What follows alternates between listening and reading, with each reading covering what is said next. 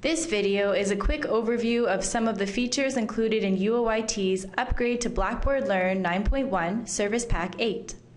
At the end of this presentation, you will be able to recognize the updated appearance of our learning management system with the assistance of this video and locate the features that are available to you and your students in Blackboard.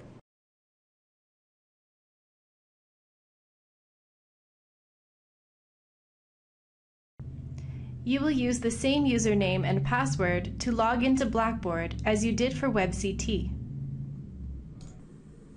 After logging in, you will be directed to the My Institution page. You can access your courses from the course module. The course homepage is now a module page. Similar to the My Institution page, it includes modules that are meant to keep you and your students updated. You can customize the home page to include modules that you feel will be the most relevant to your course. You might notice that the Build, Teach, and Student tabs that you used in WebCT do not appear in this version of Blackboard. The Edit Mode switch replaces those tabs. When Edit Mode is on, you can design your course and edit or add content. When Edit Mode is off, you can see the course as your students will view it. In this case, no content has been added.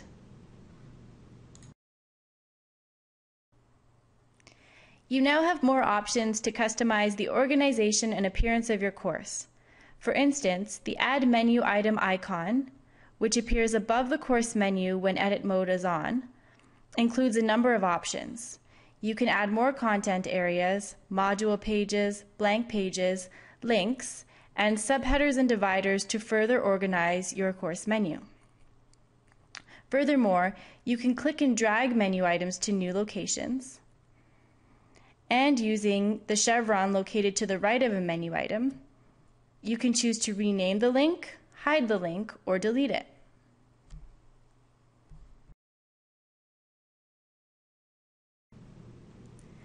Blackboard features many communication tools, including blogs, journals, discussion board, wikis, and real-time collaboration sessions, including virtual classroom and chat. Students will access course tools from a tools link in the course menu, and you will access tools in course tools within the control panel.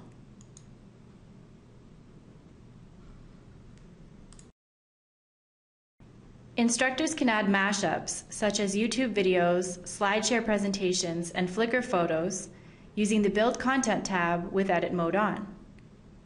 The text editor feature allows instructors and students to add multimedia throughout a course.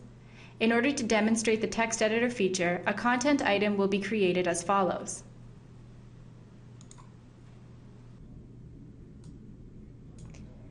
This is the text editor feature. And this icon allows you to add a mashup.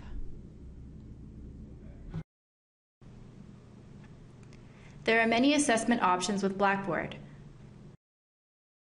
For instance, there are now many more question types to choose from when creating assessments. Also, a self and peer assessment option is available in the Assessment tab. Similar to the gradebook in WebCT, Blackboard includes a full grade center. You can access it from the control panel. When you create a new assignment or test, a column for it automatically appears in the Grade Center.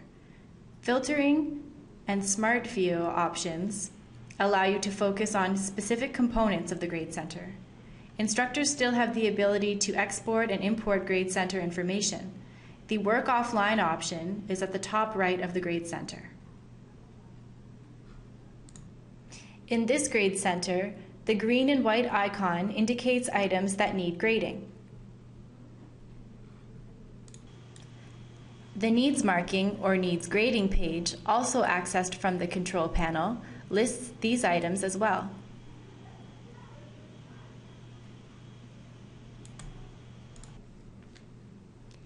This concludes your introductory overview of Blackboard. You can access resources and training materials posted by the UOIT Teaching and Learning Center and visit the Blackboard On Demand Learning Center to learn more.